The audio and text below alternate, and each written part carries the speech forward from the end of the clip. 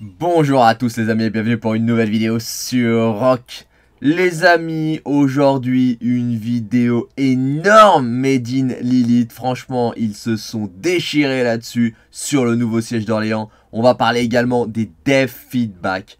Mais avant cela les amis, comme d'habitude, si ce n'est pas encore fait, bien évidemment, je vous invite à vous abonner à la chaîne en cliquant sur la cloche pour être informé de toutes nouvelles vidéos. Et surtout les amis, n'hésitez pas à nous rejoindre sur le Discord de la chaîne.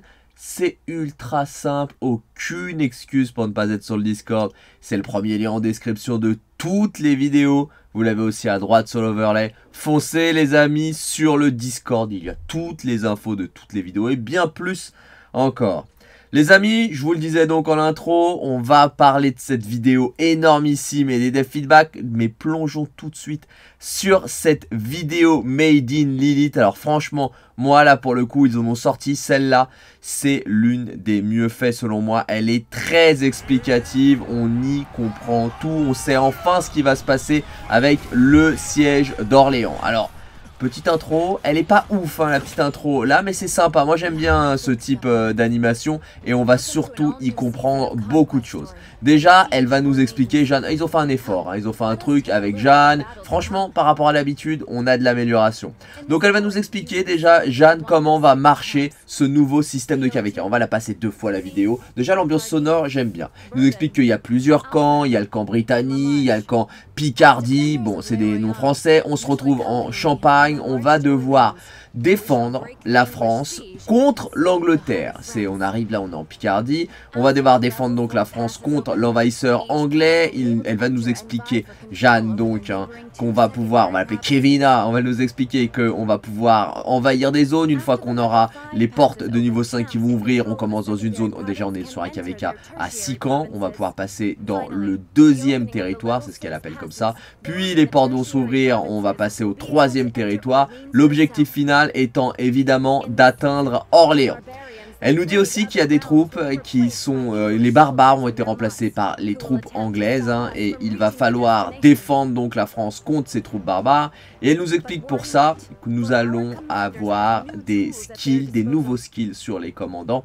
On va, on va refaire un tour après hein, et on va pouvoir affecter des skills secondaires qui sont les deuxièmes skills d'un commandant. Donc on choisit les trois skills secondaires qu'on veut et attention, elle nous le dit aussi, Mettre ces skills va coûter ce qu'ils appellent des rights. Alors je sais pas ce que ce que c'est, hein, des écrits, des parchemins. Et vous le voyez, on a un store qui peut aller jusqu'à 5000 rights. Et pour les obtenir, c'est simple. Soit on peut faire les campagnes de bastion, soit ils montent naturellement avec le temps. A noter que chaque fois qu'on va affecter un second skill, le commandant qui va avoir donné ce second skill hein, est verrouillé et on ne pourra pas l'utiliser pour lead une troupe. On voit Orléans, franchement, elle est super bien faite. Orléans, je vous disais, ça va être la grande ziggurat et tout. Non, franchement, c'est super bien, c'est super beau. Là, moi, je suis fan, je surkiffe. On nous explique le principe, comment va fonctionner à présent le siège d'Orléans. On a déjà eu des principes comme ça hein, sur Rock. On va devoir défendre 4 entrées. On l'a eu hein, sur les forteresses croisées quand elles sont sorties il y a très longtemps avec un. Il va y avoir 4 portes à défendre. Donc il faut avoir faire entrer toutes ces troupes d'abord pour que ça commence. Et dès que ça commence, on va devoir se répartir sur les quatre côtés, ils sont suffisamment loin, on peut pas les soutenir une autre troupe hein, normalement, hein. donc euh, faut bien définir les forces. Il y a quatre types, 5 types d'unités anglaises pardon, différentes avec chacun un skill différent. Alors il nous dit il y a les Royal Receivers, je crois, qui peuvent enfoncer plus facilement les structures. On en a d'autres. Hein. On a les Royal Basickers qui entourent euh, les cibles et qui font des dommages de zone. Encore une fois, si j'ai bien tout compris. Bref, 5 troupes euh, différents. Les Royal saboteurs qui vont s'auto-détruire, donc ils vont exploser au bout d'un timer et détruire toutes les troupes qui sont autour d'eux, c'est eux qu'on voit, donc il faut les empêcher d'arriver jusqu'au centre. Et si on arrive donc à éclater toutes ces troupes anglaises, eh bien on aura les récompenses. On va y revenir hein, sur le deuxième tour, sur ces récompenses, on les voit derrière et on les voit en gros plan également. Au final, donc, une vidéo bien faite qui nous présente bien les choses, même si c'est beaucoup trop court. On aurait aimé que ça soit plus long. Faisons donc un deuxième tour de cette vidéo. Hein. Moi, c'est pas que la deuxième fois que je la vois. Croyez-moi, je l'ai vu beaucoup de fois pour essayer de revoir et de comprendre l'incompréhensible, hein, ce qui aurait pu nous échapper. Donc, le but de cette vidéo est nous proposer, le, nous présenter le nouveau système de KVK. Il y a déjà des choses qui restent floues. On ne sait toujours pas s'il n'y aura qu'un seul royaume par camp ou si on sera plusieurs par camp. Regardez, hein, il ne le précise pas sur cet écran et même quand elle nous le dit, il y a 6 camps de départ, mais on ne sait pas si on est plusieurs. 2, 3, 4, 10, on ne sait pas du tout. Moi, je n'ai pas cette info. Si vous l'avez, n'hésitez pas à le dire en commentaire. Ensuite, il y a d'autres choses hein, qu'on ne, sait pas encore parfaitement. C'est le système de coalition qui va pouvoir être fait et le système d'union. On ne sait pas comment il va être possible et s'il va être possible si les six camps sont chacun pour soi ou si on va pouvoir être plusieurs à défendre la campagne d'Orléans. Parce que on peut imaginer un KVK où on se retrouve à 6 face aux Anglais. N'oubliez pas, hein, le but est de défendre contre les Anglais. Ensuite, sur Orléans, vous l'avez vu, hein, il y a 3 bâtiments annexes, 3 citadelles, et pas 4. Donc ça, c'est aussi surprenant. Comment ça se fait qu'on a une ouverture au sud? Est-ce que lorsqu'on défend la campagne contre la citadelle, combien de temps ça dure, est-ce que nous allons être enfermés, c'est-à-dire est-ce qu'on va être shieldé, protégé nos villes vont-elles pouvoir être attaquées Comment se passe ce siège exactement Est-ce qu'en même temps qu'on défend le siège contre les Anglais, on peut manger un siège des camps adverses hein, qui voudraient nous empêcher de prendre Orléans Vous voyez, c'est des, des, questions qui paraissent simples, hein. mais si en même temps que défendre les Anglais, vous mangez les autres royaumes qui viennent vous rouler dessus, ça va être très compliqué. Le système de rights également est assez étonnant. Ils en ont jamais parlé qu'il allait avoir des items à utiliser pour mettre des commandants, euh, pour prendre le skill des, commandants euh, secondaires en soutien. Ça va. Le fait qu'on puisse pas en plus les mettre en commandant premier une fois qu'on aura utilisé le second skill va grandement diminuer notre capacité, un autre, notre capacité à pouvoir sortir plusieurs troupes puisque si on met nos meilleurs commandants en skill secondaire hein, eh bien on va pas sortir beaucoup de troupes on va sortir deux maximum trois. allez si on a tous les commandants du jeu on va sortir trois. et ça va se limiter à ça. Donc là aussi très étonnant de mon point de vue hein, ce choix qui a été fait par Lily mais le plus, la plus grosse question, hein, ça reste ça. On a donc les barbares, les anglais, les barbares ont été remplacés, hein, qui viennent nous surrounder, qui viennent attaquer Orléans, on défend Orléans. Et vous voyez, il n'y a pas beaucoup de troupes là qui défendent. Donc on est vraiment en mode de test. Comment faire si nos adversaires peuvent venir? Et s'ils peuvent pas venir, Comment ça se passe? On est dans une instance particulière? Est-ce que nos villes en attente sont protégées? Est-ce qu'ils vont pouvoir attaquer nos drapeaux pendant qu'on défend Orléans? Toutes ces questions-là. Quand on est sur un KVK où on écrase l'adversaire, ces questions-là ne se posent pas. Mais quand on est sur un KVK border comme on l'a hein, sur les très gros KVK, eh bien là, vraiment, on se la pose. Ensuite, est-ce qu'on prend des blessés graves? Quelle quantité? Beaucoup, pas beaucoup. Est-ce qu'on peut prendre des morts en défendant les structures d'Orléans? Bref, des questions toutes simples. Hein mais qui sont... Alors à mon avis des morts, non, mais des blessés graves, oui. Et quelle quantité de blessés graves? Est-ce qu'on peut prendre masse blessés graves ou est-ce qu'on en prend juste un petit peu? Bref, Lilith aurait pu répondre à ces questions-là par rapport des feedbacks. Et regardez, les rewards et même ce qu'on voit derrière, elles me paraissent un petit peu éclatées. Alors là, je m'avance peut-être parce qu'on les voit mal, mais en tout cas, de ce qu'on en voit dans la vidéo, elles me paraissent relativement modestes, hein, ces, euh, ces rewards. Je pense qu'ils auraient pu faire un effort et mettre des rewards un tout petit peu mieux. Voilà mon avis pour cette vidéo, en revanche très bien faite, j'aime beaucoup l'ambiance, elle est super sympa, j'ai pris beaucoup de plaisir à la regarder et j'ai aimé avoir toutes ces infos en tout cas qui jusqu'à présent nous manquaient, même si il y a encore plus de questions après avoir vu ça, je surkiffe le skin d'Orléans. Passons à présent, comme promis, les amis, aux entretiens avec les développeurs, partie 13. Bon, je vois pas pourquoi il fout cette histoire de partie, là, il devra mettre une date ou un thème et ça serait réglé. Vous le voyez, on regarde son défi, là, il y a pas mal, euh, pas mal de questions quand même, hein. on se retrouve avec 5, 6 questions comme d'habitude, mais elles sont plutôt longues les réponses pour une fois. Commençons donc par la première question. Les batailles par équipe RCR, royaume contre royaume, PVP en anglais, sont, ont des latences quand il y a beaucoup de joueurs. Ah bon? C'est depuis toujours. J'espère que les serveurs vont être optimisés. Ça, ils vont pas nous répondre. Non, non, nos serveurs, c'est de la merde, on va continuer à en faire pareil. Nos développeurs se sont efforcés de trouver une solution satisfaisante à ce problème. Nous comprenons que votre expérience de jeu est perturbée, alors on dit un soit perturbée, euh, Kevin, un petit cours euh, de français, par les limites des graphismes, des effets spéciaux, du nombre de joueurs, etc. Non, non, c'est perturbé par les développeurs qui ne s'emmerdent plus à faire de l'optimisation de code. Et donc comme ils se disent qu'on a des machines puissantes, eh bien ils s'en foutent. La bonne nouvelle, c'est que nous avons récemment apporté des améliorations majeures à notre technologie, notamment en générant des cartes qui se chargent plus facilement, en améliorant les ressources de l'interface utilisateur et en accélérant le taux de rafraîchissement. Ça, ça va changer rien les gars, si ton, si ton device n'a pas un meilleur rafraîchissement, tu peux accélérer tout ce que tu veux en logiciel, il se passera rien. Pendant les combats, afin de nous offrir une meilleure expérience de jeu lors des batailles d'équipe, à grande échelle. Nous faisons notre maximum pour que la mise à jour soit prête le plus rapidement possible. Cependant, comme de nombreux aspects du système doivent être optimisés, il faudra beaucoup de temps pour que la mise à jour soit prête. Autant vous dire, jamais. Ou si, si, euh, je dirais 2025, on peut dire ça autre question, les commandants de saison de conquête sont trop puissants. Je viens d'arriver dans le jeu, je n'ai aucun commandant à utiliser. Non mais sérieux quoi. Nous vous remercions pour vos commentaires. À mesure, là ouais parce que c'est pas une question, hein, ils mettent question mais non c'est pas une question.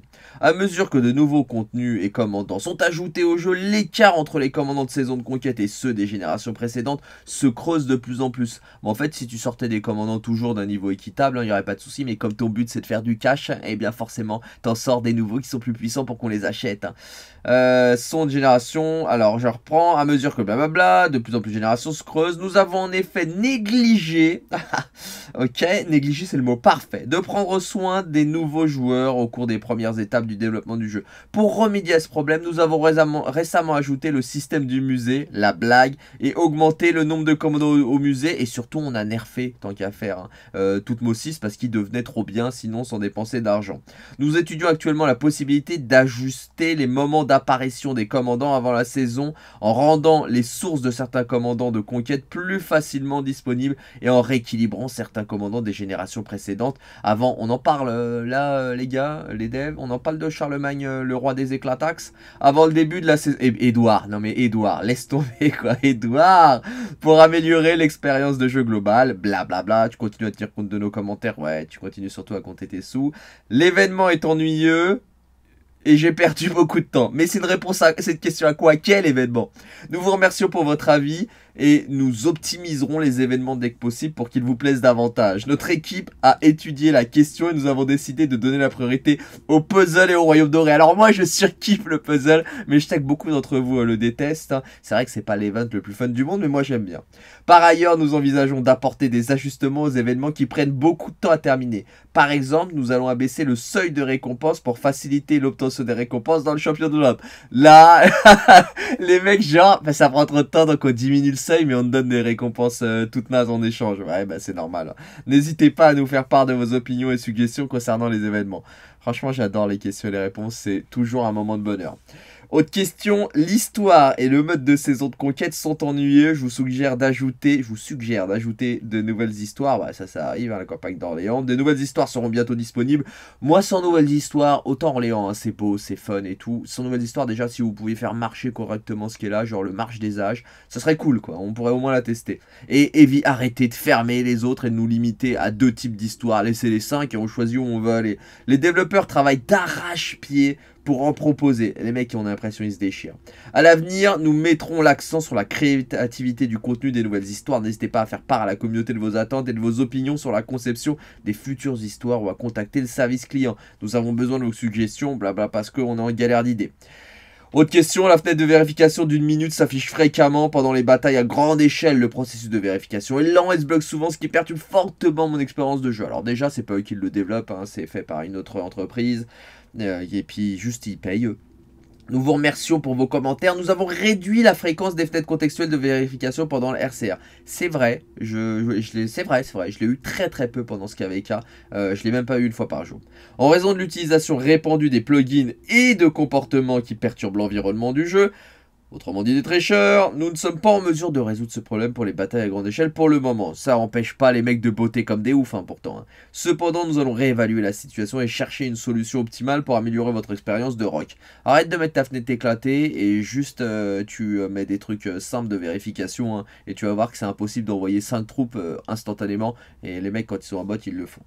Pouvez-vous ajouter des pré-réglages d'attirail et de formation pour que je puisse changer rapidement de formation? Bon, ça, on sait qu'ils l'ont fait, ils l'ont déjà dit. Hein. C'est une excellente suggestion, nous avons ajouté cette fonctionnalité. Super, les mecs se font les questions et les réponses, c'est super. C'est une excellente idée hein, que nous avons eu nous-mêmes et qu'on se pose nous-mêmes la question. Dernière question, les règles d'immigration sont illogiques et les adversaires sont trop puissants. On va, augmenter le nombre de passeports, tu vas voir, ça va être très logique, ça va nous faire plein de sous.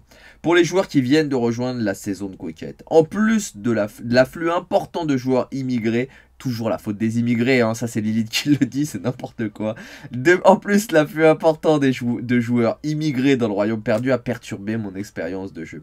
Ce problème a également été soulevé, les royaumes qui viennent de participer à SOC, à la saison de conquête, hein, se voient attribuer des adversaires trop puissants et il y a un grand afflux de joueurs immigrés dans les royaumes. De plus, avec le temps, ce problème tend à s'aggraver. Nous travaillons actuellement d'arrache-pied. Il a appris un mot là, Kevin, et donc il le sort tout le temps. Hein. Pour trouver une solution. À l'avenir, nous pourrions apporter des ajustements aux mécanismes de matchmaking et d'immigration. Par exemple, et là, je suis sûr il y a une carotte, les royaumes qui viennent de participer à la saison de conquête seront associés à des royaumes relativement nouveaux dans le RCR. Nous fixerons également une limite au nombre de joueurs émigrés au cours d'une même saison et augmenterons cette limite en fonction du développement du royaume. Autrement dit, ça va plus du tout être la fête pour immigrer. Nous sommes actuellement à la recherche de la meilleure solution. Si vous avez des commentaires, n'hésitez pas à nous contacter. Si vous voulez nous donner des idées gratuites pour qu'on fasse de l'argent avec, surtout, n'hésitez pas à nous le dire. Et si vous voulez nous donner de l'argent parce que vous en avez trop, n'hésitez pas non plus. Vous pouvez même m'en envoyer et faire des dons. Je suis comme Lilith, il n'y a pas de problème. Si vous avez des commentaires, n'hésitez pas à nous contacter. Cet entretien avec les devs touche à sa fin. Si vous souhaitez d'autres suggestions concernant les joueurs que nous avons évoqués, les sujets que nous avons évoqués aujourd'hui, n'hésitez pas à nous en faire part dans la communauté du jeu ou en contactant le service client. Encore une fois, merci de soutenir Rock. Nous espérons que vous appréciez le jeu car nous, nous apprécions votre argent. Il pourrait finir comme ça, une petite note d'humour, tout le monde serait content et ça serait fun. Bon, des dev feedback qui sont très drôles là pour le coup, euh, on a beaucoup ri, mais euh, qui ne nous apprennent pas grand chose au final, juste euh, que ça va être un petit peu plus chaud pour les choses, qui savent que plus chaud pour les commandants, ils s'en foutent avec le muséum, plus chaud pour immigrer, bref, il y a champion de l'Olympe qui va être nerfé de ouf et qui va donner des récompenses éclatax au troisième sous-sol, donc forcément ça va pas faire plaisir. Voilà, écoutez les amis, c'est pas mal déjà hein, pour euh, une vidéo en ce début de semaine. La grosse vidéo, je vous invite à aller la voir, hein, du siège d'Orléans. Elle est vraiment très sympa et je suis impatient de faire ce nouveau système de KVK. Si cette vidéo vous a plu les amis, comme d'habitude, n'hésitez pas à lâcher un colossal pouce bleu. Vous le savez les amis, ça aide énormément le développement de la chaîne et surtout ça me fait vraiment très plaisir. Si ce n'est pas encore fait les amis, qu'attendez-vous? Qu'attendez-vous pour vous abonner à la chaîne? En cliquant sur la cloche pour être informé de toutes nouvelles vidéos je vous souhaite un bon jeu à tous. Prenez soin de vous les amis. Faites bien attention à vous. Et je vous dis à plus sur Rock.